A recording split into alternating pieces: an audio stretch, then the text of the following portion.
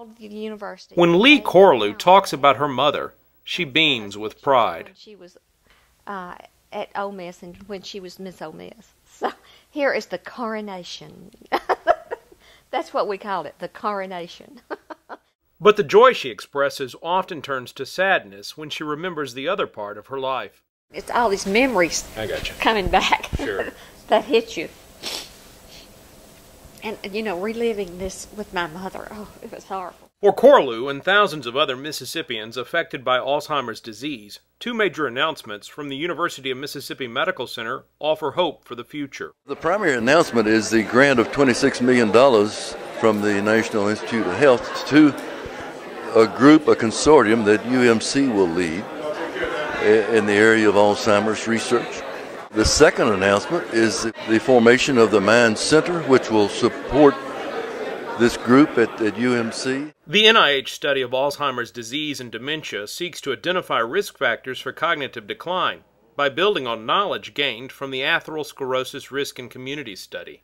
It, it will tell us a lot, and there's no other study like that in the nation. And with the creation of the Memory, Impairment, and Neurodegenerative Dementia Research Center, or MIND Center, scientists and researchers plan to establish an internationally recognized research facility to investigate the causes of Alzheimer's disease and prevention and treatment methods. We have been working for a couple of years now, um, both to land this new, uh, one of a kind uh, grants in collaboration with these other institutions, as well as to put together a state of the art dementia research center. It just so happens that this uh, large grant has come together at the same time that we have large support from the community in helping us raise private funds for this new Mind Center.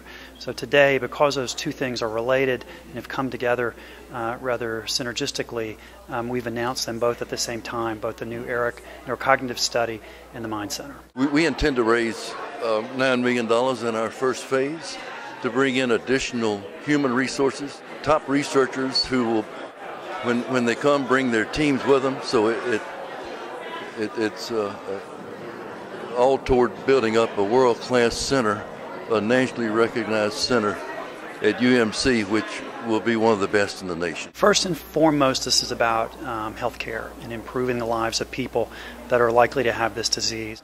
We're living longer than ever before, which is fantastic. But with that comes this caveat that we are having higher rates of dementia than ever before because age and dementia are highly related. The potential health benefits from this kind of investment are obvious, but Mississippi also benefits in another important way. This will also have a substantial economic impact. We're going to be recruiting nationally recognized scientists who have the potential to bring in uh, millions of dollars in federal research money. That lets us bring young talent who want to work on these grants and stay in Mississippi. And those research, those federal research dollars have a multiplier effect in the local economy of some four to seven dollars for every uh, federal dollar brought in for research. So it's it's important for, for those reasons. Both Palmer and Corlew have been touched by Alzheimer's, and now they're advocates, fundraisers, fighting for a cure. And Mosley says that commitment makes all the difference in the world. Lee, in particular, has such a working knowledge of not only Alzheimer's but the needs of our state.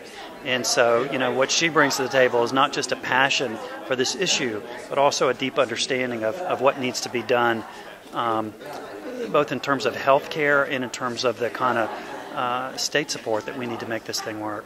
Well, when I was searching for answers for my mother, I uh, was in graduate school at the time, and I said, What can we do? And they said, Nothing. And I said, Hide and watch. There's bound to be something. And the researchers and physicians gathered today on Mississippi's Health Sciences campus hope to be part of that something too. For more information, go to umc.edu.